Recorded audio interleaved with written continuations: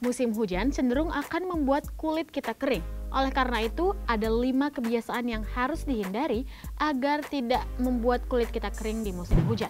Dapatkan informasinya di video ini, tapi sebelum itu like dulu video ini, subscribe YouTube channel Nova dan bunyikan lonceng notifikasi supaya kamu tidak ketinggalan video menarik lainnya. Sebagian orang mungkin menyukai musim hujan karena udara yang tidak panas dan rasa sejuk bisa membuat orang nyaman ketika datangnya musim hujan. Namun ternyata musim hujan ini cenderung akan membuat kulit kita kering karena kurangnya kelembapan.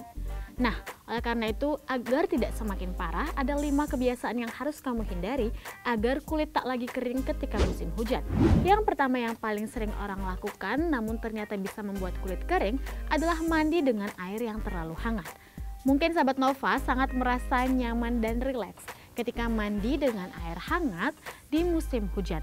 Namun ternyata mandi dengan air hangat apalagi jika terlalu panas ini bisa membuat kulit kita kering dan membuat pH pada kulit tidak seimbang. Ini akan membuat kulit kita kering bahkan iritasi. Oleh karena itu, pastikan sahabat Nova tidak terlalu sering mandi dengan air hangat atau bahkan air yang terlalu panas. Yang kedua yang sering orang abaikan adalah memakai sunscreen di musim hujan. Mungkin kita berpikir sunscreen berguna untuk melindungi kulit kita dari sinar matahari. Sementara saat musim hujan mungkin tidak ada terik matahari. Namun ternyata ketika sahabat Nova akan keluar rumah harus tetap menggunakan sunscreen meski musim hujan. Karena tetap ada sinar UV yang bisa membuat kulit kita tidak sehat. Oleh karena itu, meski musim hujan pastikan kamu tetap memakai sunscreen ya. Yang ketiga yang harus dilakukan menjaga pola makan ada sangat banyak orang yang kemudian tidak banyak minum di musim hujan karena merasa tidak haus atau tidak gerah. Padahal apa pun kondisi cuacanya, kita perlu menjaga pola makan dan juga mendapatkan hidrasi yang cukup pada tubuh. Oleh karena itu, kamu perlu memperhatikan lebih lagi soal pola makan dan juga minum yang kamu lakukan saat musim hujan agar kulit tetap sehat.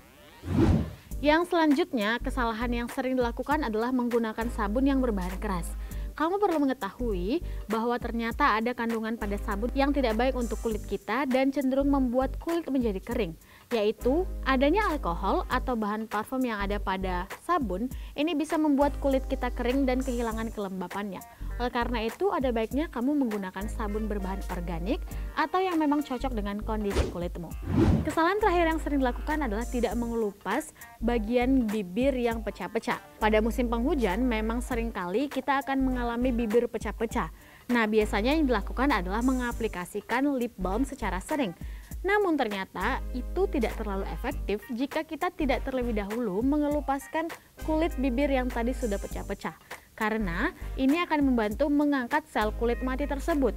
Barulah setelah itu aplikasikan lip balm. Namun jangan sampai memaksa untuk mengelupas sel kulit mati tersebut karena bisa saja melukai bibir sahabat Nova. Itu dia sahabat Nova, kesalahan-kesalahan yang sering dilakukan banyak orang di musim penghujan yang akhirnya membuat kulit menjadi kering. Kamu bisa mendapatkan banyak informasi lainnya di YouTube Nova dan pastikan sudah like video ini, subscribe YouTube channel Nova dan bunyikan lonceng notifikasi supaya kamu tidak ketinggalan video bermanfaat lainnya.